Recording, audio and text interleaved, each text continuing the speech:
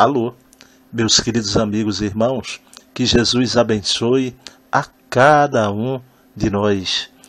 A nossa conversa fraterna de hoje tem como título Os Neocapelinos. Bem, meus amados irmãos, muitos espíritos foram degradados de capela na constelação do cocheiro e iriam para o mundo distante.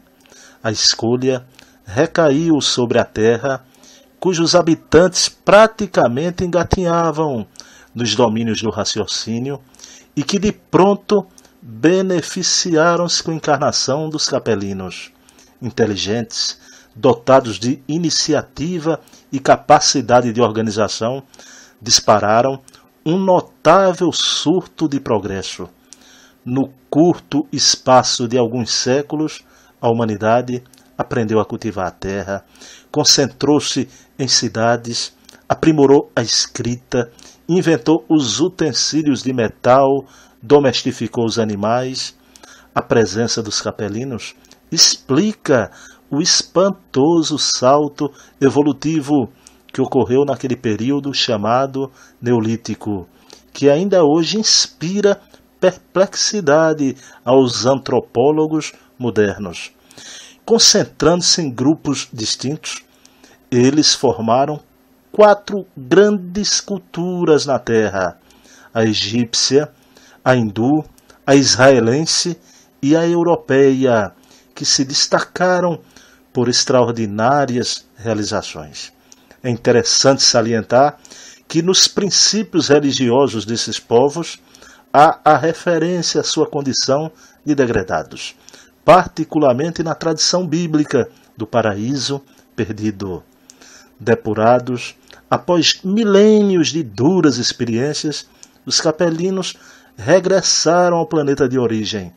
Com a nova migração, as civilizações que edificaram perderam consistência, sucedidas por culturas menores, filhas do homem terrestre.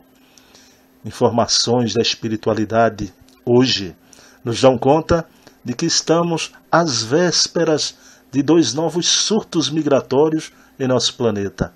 O primeiro, marcado pela encarnação de espíritos altamente evoluídos. O segundo, aqueles que vão deixar o nosso planeta porque estão endurecidos e não poderão acompanhar a sua evolução. Esses espíritos altamente evoluídos que virão pontificarão em todos os campos do conhecimento, num grandioso renascimento moral e espiritual da humanidade. Virão de esferas mais altas, preparando a promoção da Terra para um mundo de regeneração.